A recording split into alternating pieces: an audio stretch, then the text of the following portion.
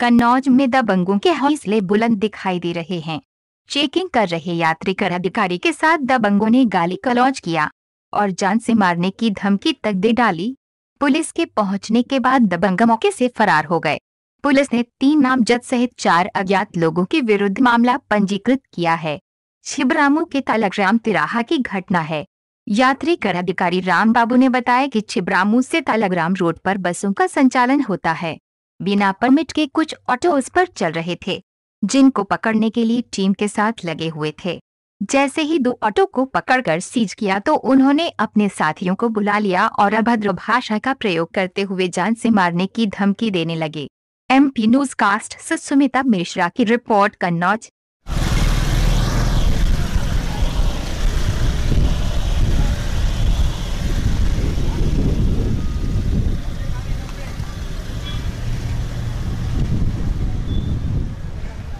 बस मार्गों पर हम चेकिंग कार्य कर रहे थे।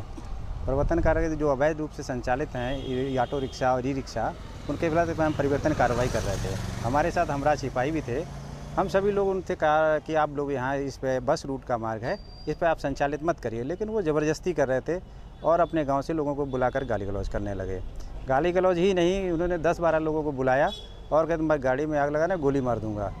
वैसे ही बात स्थानीय पुलिस को मैंने सूचित किया तो स्थानीय पुलिस के आने के बाद वो लोग भाग गए।